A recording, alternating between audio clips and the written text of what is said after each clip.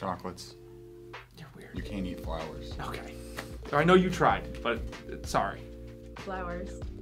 And I would also go with flowers. I like smelling things as opposed to eating things. And I have a nut allergy. Chances are that chocolates are true, gonna have true, nuts in true. them. I don't know. Flowers, like they're they're pretty and then they die. At least like Yeah. chocolate, I can enjoy something out of it. Flowers, because I think chocolates you could buy from anywhere. Flowers, you can customize it unique to the person you're trying to impress on Valentine's Day. I say flowers. Flowers, specifically tulips. Specifically Trader Joe's flowers. I like a good romantic song to sing to in the car. I guess uh, I gotta go. I'm a big Billy Joel guy, so she's got a way, you know. I mean, and you're you're you're golden with anything by Adele. I Oh, think. like easy on me, great. that can be good. Would you like a movie example? Yes. When Harry Met Sally. Oh, so good. When Harry Met Sally, Love Rosie. Oh, oh, The Age of Adaline. That's a good one too. So yeah, those are those are good movies. Now there's the re- the rom My favorite love song is "Kiss from a Rose" by Seal. Can you sing it? A baby. Ooh, city. No, beach. I take it back. I like doing nothing. Yeah, I'd have to say beach too. Yeah. We also like live near like a very like popular city, so I feel like it's not really a vacation, it's just like going to work. I would go with a beach vacation mm-hmm. because I like the breeze. I would go for beach vacation because I already live in a city. I can do that. I can go anytime. Being in, in like Florida or like Myrtle Beach, somewhere like Outer Banks, give me that. Like I'll take beach any day of the week, even if I'm a ginger and I'm probably gonna burn 90% of the time. Uh, it's okay. Beach vacation, easy, I think yeah, beach vacation for sure. easy. Working in Manhattan, I like working in Manhattan, but uh, I could never live there, vacation there. I don't know what you would do there for a vacation. Once you go to the Herbert School, it's, it's a very it's a place a lot of people end up working in the Yes. city or living near the city. So I feel like escaping to the beach, like the Even Jones Beach, right down even the Jones block. Beach, yeah. Oh, my my whole life, I grew up going to the Jersey Shore, so I absolutely will always say beach Yeah, be, beach 100%. When you go to the city for internships and stuff, I have.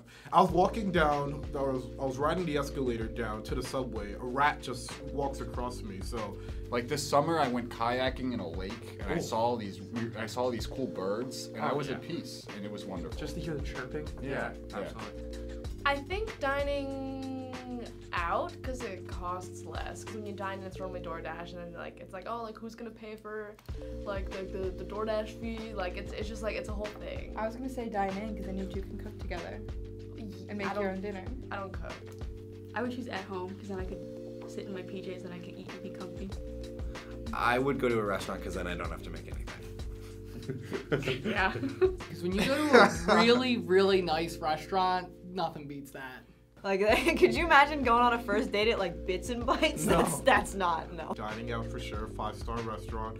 If you get me mad, then we're just switching plans to McDonald's, and you're not even looking at the regular menu. We're looking at the value meals. So I would say uh, here, here, here's my answer. I would say uh, you order in from a nice, beautiful restaurant, take it to the top floor of the library. I believe the 10th floor. You can see the beautiful city view from up there. It'll be romantic. Uh, the ER is electric.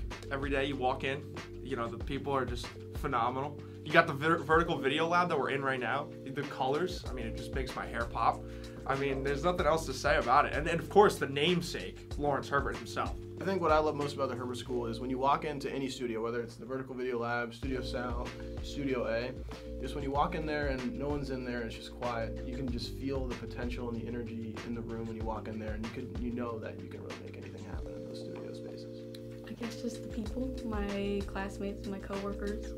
They make being here a lot more fun and gives a good sense of community. Yeah. I think um, uh, there's a lot of outlets for us to be creative here, so we can do a lot of fun things. Yeah. Yeah. yeah. Man, there's so many. my, Uh, my answer is obvious. Four call letters. W R H U. It's just that simple. I'd say I just like going around and seeing all these people that I work with every day that I connect with on a truly emotional and spiritual level. Like Sir Tom Cry. Brady. You're gonna make me cry. Absolutely, yeah. 88.7 FM. There, there's no better station, and the professional experience I've gained, you know, I'll be able to take it with me for the rest of my life. When you walk through the school, there's always like somebody to talk to. Like Yeah. we know everybody here. You can walk into the equipment room and just like talk with your friends. Like Yeah. it's a great environment to just like all be creating things together.